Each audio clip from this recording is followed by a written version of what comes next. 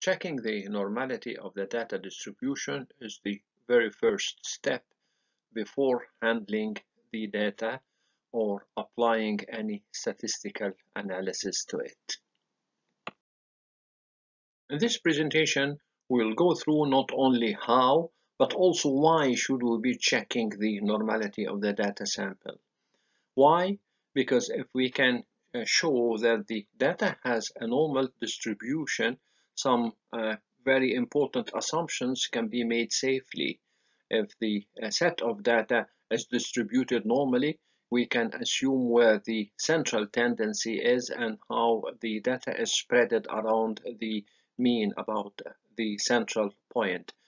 And in that case, we can characterize the set of the data with few parameters and then parametric tests, the more powerful parametric uh, statistical tests can be employed in the data analysis. Uh, we can also make some safe assumptions like how the data is distributed.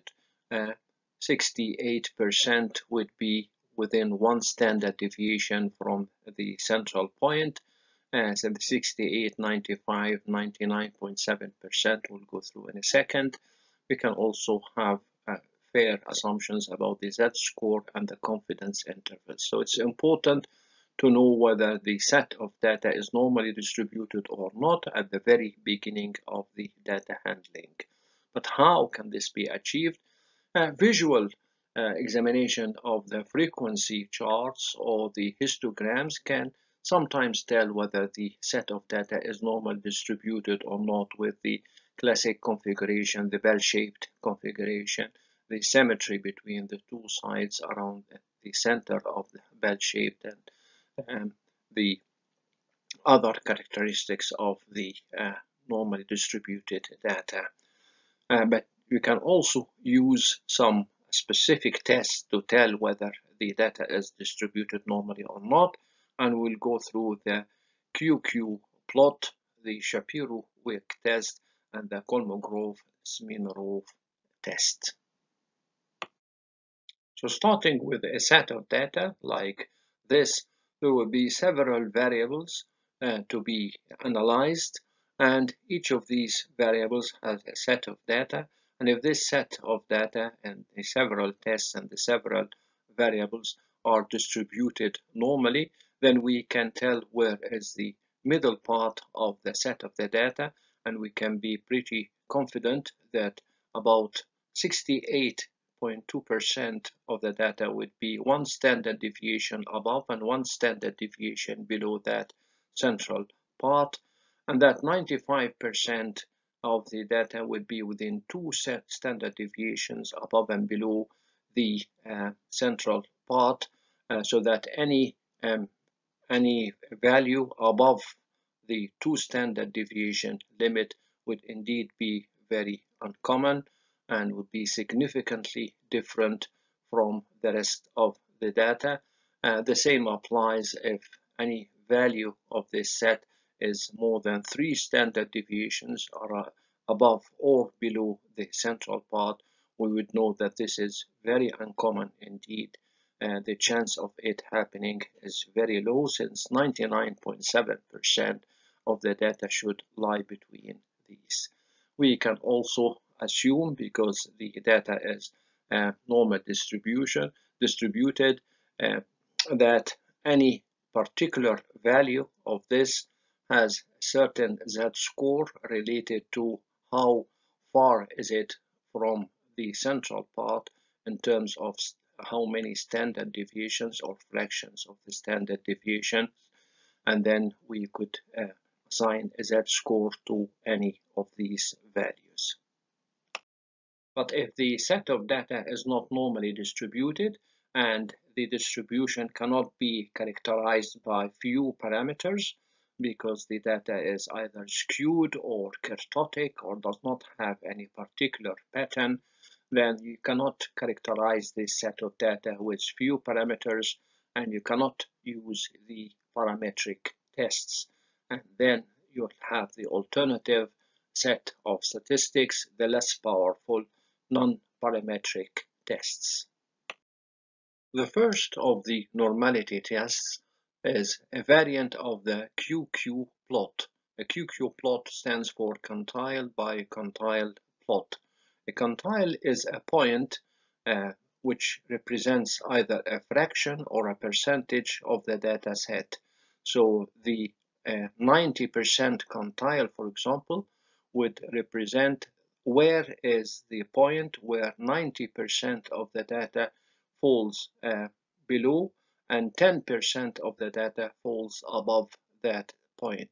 A 30% quantile would have 30% of the data uh, below and 70% of the data above. And a, the quantile plot, plot um, basically compares two sets of data, one uh, plotted in the x-axis and the other on the y-axis.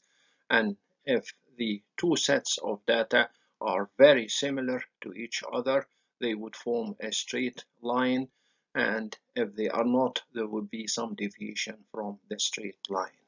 Now, the normal probability plot is a variant of the QQ plot in which uh, we use the set of the experimental data on the y-axis and on the x-axis we use a theoretical uh, set of data if the uh, set of values that we have are really very well normally distributed, they should have these uh, theoretical values.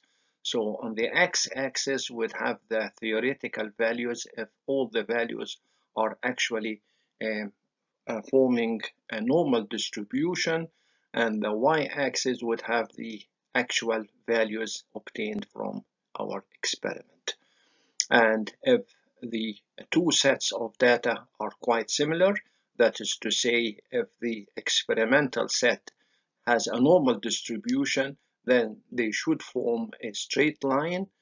And but if they're not, if there is some deviation of the way the Uh, points are plotted from the straight line, then we know that there is some deviation from the normality distribution. So for example, if the data is not distributed normally, like in here where there is some skewness of the data to the right and there is some very high scores of the data that are quite far from the central point of the data distribution rather than having a straight line these very high scores in terms of their um, distance from the center. The standard deviation here is 8 standard deviation from the center or 6 would cause this. Because if we plot the actual figures on the y-axis again against the theoretical uh, figures on the x-axis these very high scores and the end of the skewed data would form uh, would uh, form this deviation from the straight line and we could tell from this QQ plot that the data is skewed. Conversely, if there is skewness to the left and we have some very low values here that are quite apart from the central point, there are again either minus 8 standard deviations or minus 6 standard deviations from the central part.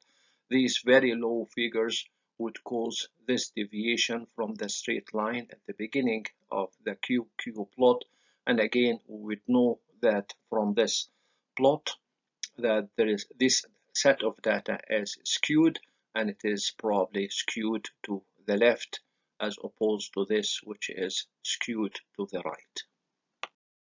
Another form of deviation from the normal distribution is the kurtosis when we have fat tails, we have spreading of the data well uh, away from the central part or the uh, aggregation of all or most of the data quite close to the central part. Um, in this case, there would be fat tails and on the other case, you would have very thin tails because most of the data is quite close to the central part And again, a QQ plot would show this uh, clearly because of the spread of the data quite uh, apart from the central point. You would have deviation from the straight line uh, at the beginning because of this uh, set of data away from the uh, central part. And you would also have deviation from the straight line at the end. And this would be shown here because again of the very high uh, standard deviation z scores standard deviations differences from the middle point.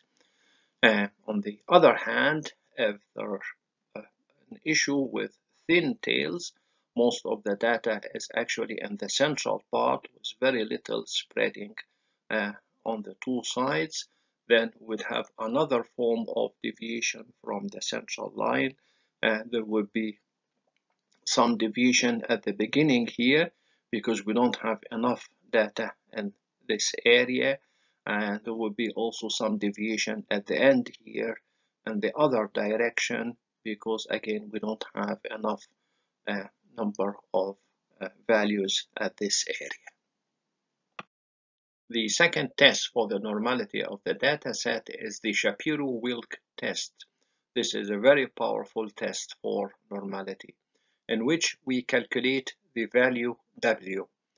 This is the ratio between the numerator and the denominator here.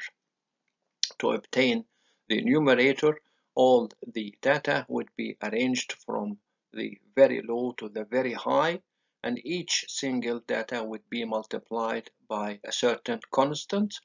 So x1 would be multiplied by a1 and x uh, n would be multiplied by an and their uh, sum up would be squared and this will be divided by the actual uh, spread of the data around its mean here uh, each single dot would be uh, uh, subtracted from the mean and this uh, would be squared and the sum of the squares would form the denominator.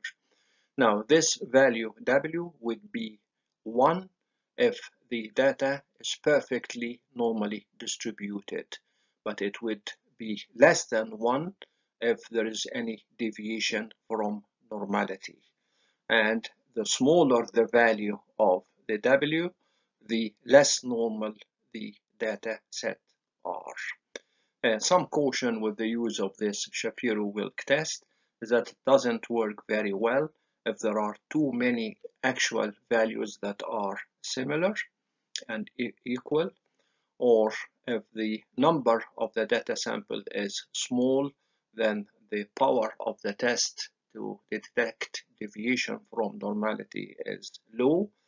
Uh, on the other hand, if you have a very large set of numbers, the test would be uh, very powerful, too powerful as to detect very minimal deviation from uh, normality. In the Shapiro-Wilk test, the null hypothesis is that the set of data is actually normally distributed so if the p-value is less than the alpha value is less than 0.05, then the null hypothesis would be rejected and we know that the set of data is not normally distributed. And this set of skewed data, the Shapiro-Wilk W was 0.87 less than 1 and the p-value is less than uh, 1 in 1000. So this is an evidence that this set of value is not normally distributed because the uh, p-value is very significant then this is not normally distributed. On the other hand, if the p-value is greater than the chosen alpha level, usually at a 5% level, then the null hypothesis that the data is normally distributed cannot be rejected and then we cannot uh, reject that this set of data is normally distributed. Uh, this set of data has a Shapiro-Wilk test of 0.97 which is close to 1 and the p-value of this is 0.57 this p-value is higher than 0.05 and therefore we can we don't have reasons to reject that this set of data has a normal distribution. You would see on this software uh, package that another uh, test for normality was also used um, in addition to the Shapiro-Wilk test. This is the Kolmogorov-Smirnov test. The Kolmogorov-Smirnov test is the third test of normality in which a cumulative distribution function of the set of data if it is perfectly normally distributed would form this red line. This is a cumulative distribution function. Any point here would be the addition of all the points uh, before it uh, and would reach 100% at the very end. This ideal red curve would be compared to the actual cumulative distribution of the set of data, the experimental data that we have obtained uh, in blue here, and the distance between the theoretically perfect uh, normal distribution and the actual cumulative distribution would form the basis for the Kolmogorov-Smirnov test. And again here, if the test is significant, if the value is less than 0.05, then the normality is rejected and we know that the set of data is not normally distributed. So what can we do if we end up with a set of data that has a distribution like this which is far from normal? One way out of this is to increase the number of the samples. Uh, every time we increase the number of the sample, the distribution of the data, when it is doubled here, would look more like a normal distribution and every time the number of the samples increase, the shape of the distribution would come closer to uh, the normal distribution. This is the basis of the very famous central limit theory in statistics, uh, which tells you that the shape of the sampling distribution becomes normal as the sample size increases. This is basically because the standard deviation of the sampling distribution, that's to say the standard error, gets smaller as the uh, sample size increases.